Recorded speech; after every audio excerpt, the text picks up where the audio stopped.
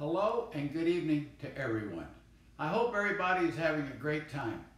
I'm speaking to you from my home in Tampa, Florida. Believe me, I wish I were there in person. I've been waiting for this moment for a very long time. Unfortunately, I'm battling prostate cancer and I'm having adverse effects from my treatments. Before I begin my talk, let me first thank Rene LaRue and the New York State Hall of Fame Association for this very prestigious award. Last year, my good friends and teammates, Bobby Murcer and Thurman Munson, were inducted, and now I'm following in their footsteps. I'm very honored and very proud, but in a humble way. You know, I spent 40 years in the big leagues, and I have many wonderful memories from each and every year. But I must confess, the years I spent in New York with the Yankees were the most special. Getting the chance to wear the pinstripes, what a wonderful, wonderful feeling. Playing in Yankee Stadium with all those pennants and everything, what a thrill having winning world championships in New York City, well, it doesn't get any better than that in professional baseball. I have so many people to thank. Let me start with you, the fans. Yankee fans are the best in all of baseball. To you, I say thank you for your love and your support. I am certain you made me become a much better ball player, so I want to thank you for that. My teammates, we had so much fun together. What a great group of competitors, winners. I love all of you fellas. My managers, especially Billy Martin and Bob Lemon, thank you for believing in us and keeping us focused.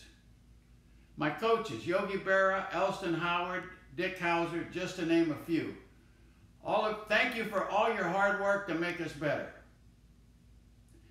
Mr. Steinbrenner, in my opinion, as good an owner as there was in baseball.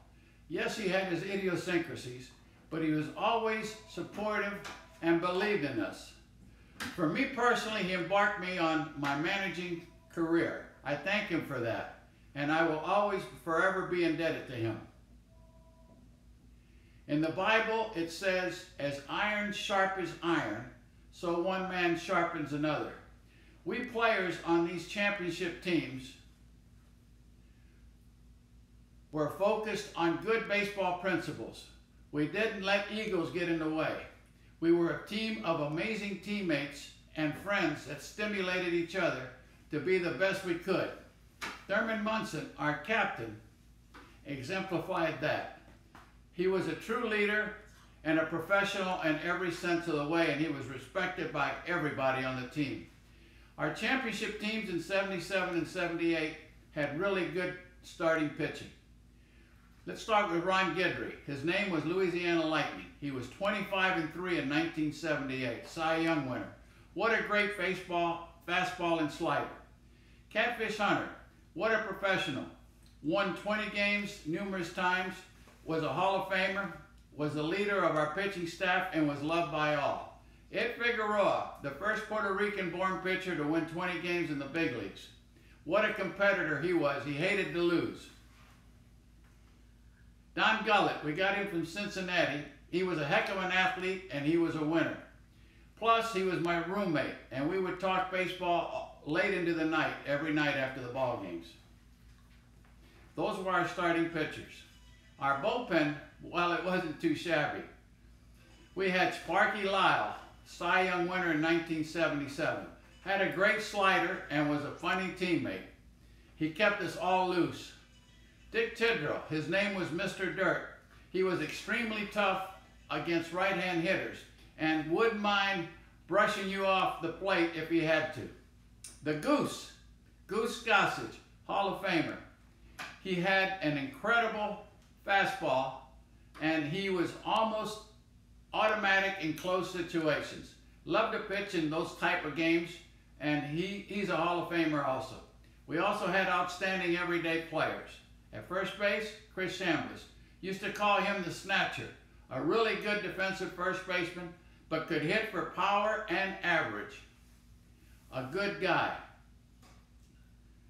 At second base, we had Willie Randolph. Boy, could he turn a double play. A good contact hitter that gave us good speed on the bases. Graig Nettles, what a great third baseman. He had a tremendous glove. He was like a vacuum cleaner over there at third base. And what a sense of humor he had. Plus, he could hit you 30, 35 home runs a year. Bucky Dent, got him from the White Sox. He was rock steady at the shortstop position and a player that hit one of the biggest home runs in Yankee history. That three-run home run in Fenway Park in postseason will never be forgotten by Yankee fans or Red Sox fans. Our catcher and captain was Thurman Munson. Boy, could he call a great baseball game. The pitchers uh, loved pitching to him.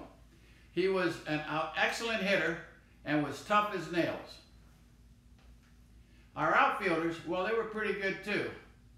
Let's start with Mickey Rivers, nicknamed Mick the Quick, was our leadoff hitter and, and, and center fielder. He made our offense go, had tremendous speed, and could really play center field well. Roy White, Mr. Steady, uh, Mr. Consistency, a switch hitter that hit well from both sides of the plate, had good speed, and was well liked by all his teammates. Reggie Jackson, Mr. October, and a Hall of Famer. Loved the limelight, but could produce in those big key moment situations. Tremendous power. Oscar Gamble, a really funny guy who could hit for power and could come off the bench and with one swing of the bat win a ball game for you. Bobby Murcer, short, quick, compact swing. He loved to sit in his rocking chair before the game uh, to relax. A really good professional baseball player, a winner. Then, of course, me. Tino, congratulations on your inductions into the Hall of Fame. You were an excellent player. You were a winner. I'm proud to go into the Hall of Fame with you. Again, let me say thanks to everybody for being here. Enjoy your evening. What a wonderful journey.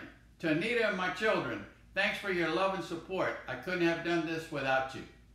God bless all of you, and please stay safe.